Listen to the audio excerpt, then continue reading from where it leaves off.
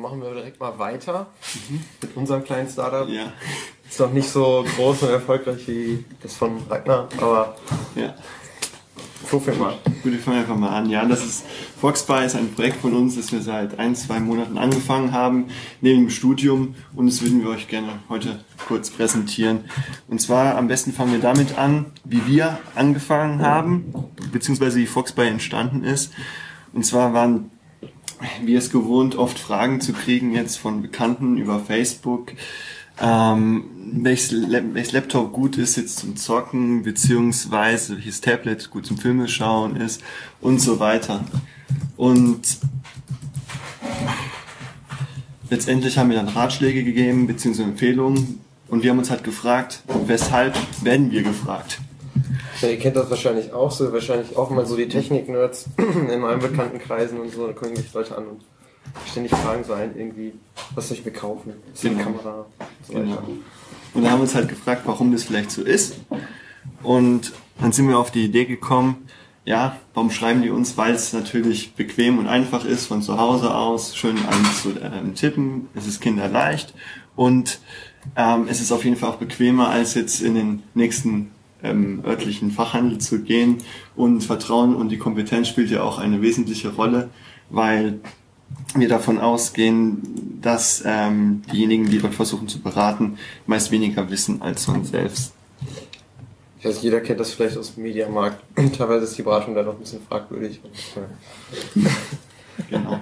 Also letztes Mal, als ich da irgendwie, ich wollte einen Rahmenriegel kaufen und wurde dann zu den Druckerpatronen geführt und. Und ein, ein weiterer wesentlicher Grund dafür ist, ähm, dass wir versuchen, die Kaufentscheidung zu vereinfachen. Ähm, es gibt diesen Paradox of Choice, dass man, wenn man zu viele Sachen angeboten bekommt, sich vielleicht gar nicht mehr entscheiden kann.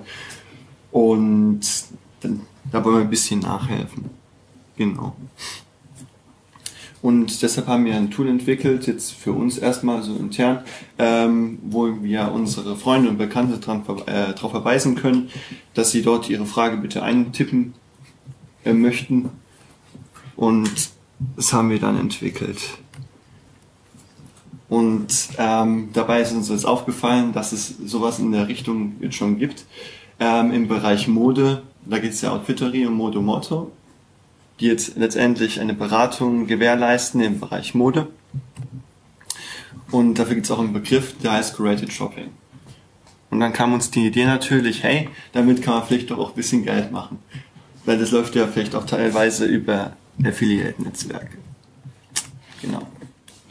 Ja, und so ist im Prinzip dieses Foxbuy.de entstanden. Also aus dieser Plattform für Freunde, die, auf wir Freunde so draufgeschickt haben, ist dann wirklich so, ein, so eine richtige Website entstanden, ähm, auf der man jetzt eben eintragen kann, was man sich kaufen will, ein Preislimit festlegen kann, seine E-Mail-Adresse angibt und dann ähm, das Ganze abschickt und wir recherchieren dann im Hintergrund, kriegen dann im Backend äh, die Anfrage rein quasi, recherchieren und schicken dann ähm, Produktvorschläge zurück.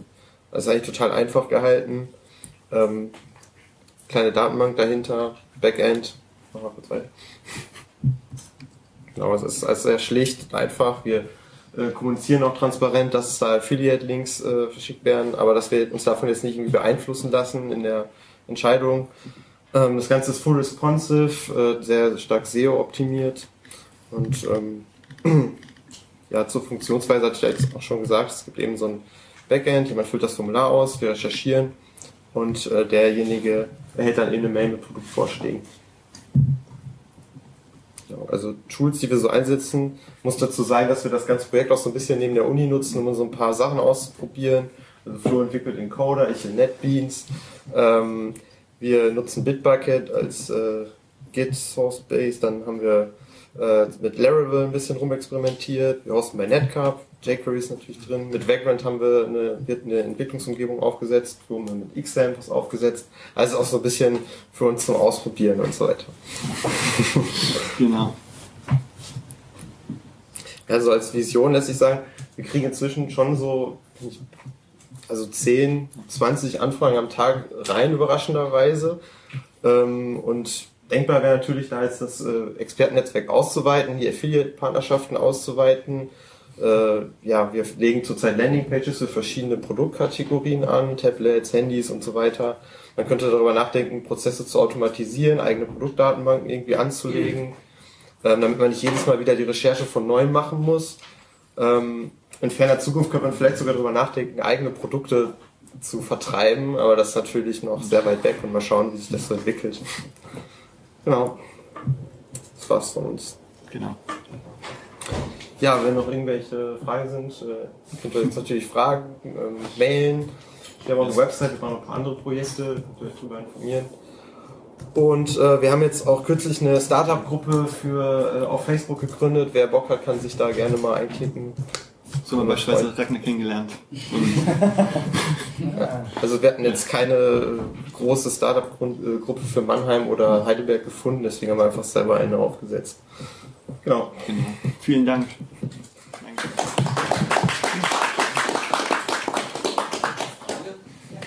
Ja. Ähm, habt ihr Ideen schon, wie sich das finanzieren soll? Also wenn jetzt jemand eine Frage einstellt und wenn er... Ach so, vielleicht ist Affiliate jetzt nicht jedem ein Begriff. Also wenn jemand jetzt äh, ähm, eine Frage stellt, er möchte sich ein neues Tablet kaufen. Und dann wir jetzt verschiedene ähm, Partnerstores, so zum Beispiel Amazon oder Thomann oder Salando und äh, suchen dann dort nach dem für den Kunden eben am besten geeigneten Produkt. So, wir haben ja so ein bisschen Ahnung, weiß nicht, zum Beispiel von Tablets, schicken dann ihm einen Link und da ist so ein Affiliate-Tag gesetzt. Das heißt, wenn die Person dann bestellt, bekommen wir eine Provision von dem Store. Also Aber das ist jetzt eigentlich nicht so viel, also ich kenne es von Amazon auch, als dass sich äh, je nachdem die Recherche, die ihr da aufgebracht habt, rentieren würde. Also je nachdem, wie gut ihr euch Deswegen muss es auf jeden Fall noch weiter automatisiert werden und so weiter. äh, und wir müssen, also man sammelt natürlich Erfahrungswerte, wenn wir zum Beispiel schon äh, weiß nicht, schon fünf bis zehn Anfragen zu Tablets in den letzten ja. Wochen bekommen oder so, dann ist ja nicht immer wieder derselbe Aufwand. Ne? Das wird ja jetzt immer einfacher. Da müssen wir mal gucken, wo sich das hin entwickelt. Ob's, also wir erwarten ja jetzt im Moment nicht, dass das das nächste große Million-Ding wird, aber vielleicht wird da ja was draus, weil genau. sich dadurch, dass sich immer mehr äh, der Handel in, in den Online-Bereich verlagert, äh, fällt natürlich die Beratung irgendwo weg. Und vielleicht könnte sowas in der Art äh, sich dann mal dazu entwickeln. Das Ziel ist zu erkennen, was der Nutzer angegeben hat und daraus äh, aus der Liste der schon kodierten Dinge wie das beste Handy bis 200 Euro aktuell. Im Idealfall das automatisch. Genau. Wenn nicht, dann landet es bei einer Person. Ja, das wäre so das, so die Zukunftsvision. Was dann mit der Beantwortung der Liste ergänzt. Genau. genau. Also wir kriegen das leider auch im Bekanntenkreis mit, dass viele Leute halt auch einfach irgendwie Mist kaufen. So, dann kommen die wieder an, ja, wir haben ein neues Tablet gekauft hier. Äh, das ist ja okay, für das Geld hättet ihr was Besseres gekriegt oder so. Genau. Und das Schöne ähm, bei der Sache ist auch, es ist beliebig skalierbar und auch vom Produktsortiment. Und ja. genau. Und bis und das Schöne ist auch, dass es sehr messbar ist. Sprich auch von der, von der jetzigen Lead-Generierung bzw. Conversions haben wir eigentlich auch eine recht gute Quote. Bloß ähm, den, den Traffic jetzt zu halten, jetzt ähm, langfristig klar auf SEO zu gehen, momentan vielleicht noch zu versuchen, über Social Media oder AdWords was zu reißen. Aber gerade bei AdWords ist die Sache, dass man da mit Konkurrenten äh, hat wie IBM, Apple und so weiter, die dieselben Keywords gebucht haben, die schon ein bisschen mehr ausgeben können als wir. Und das muss ich dann auch letztendlich rechnen. Jo. Wie seid ihr auf den Namen gekommen? Ähm, also wir haben ziemlich lange über rumüberlegt, rumgemacht, haben dann, glaube ich, Brainbuy gehabt irgendwie und dann war das schon als Marke registriert und da haben wir Angst gehabt irgendwie, weil dahinter, wer, wer war dahinter? So ein riesen Anwaltsunternehmen oder irgendwie? Ja, ganz komisch. Ja, und dann haben wir uns überlegt, hey... Wir haben irgendwie so Listen ja, erstellt ja. mit Wörtern, die wir irgendwie, also für kaufen und, äh, und Wörter für schlau und clever und dann der Fuchs, der schlau und dann wird das einfach kombiniert und ja. Uns hat wenig Silben und. Ist in Deutschland auch nicht als Marke registriert, ja. auch nicht als EU-Marke. Genau. Das einzige, ja. Ja, das ist abgesungen, der FB, Fox bei Facebook. Aber daran arbeiten wir noch. Also vielleicht, Facebook ist ja vielleicht auch nicht für immer. Also. vielleicht kann man auch die Nachfolge antreten. Man weiß, also lach bitte nicht. ja, genau. ja. ja.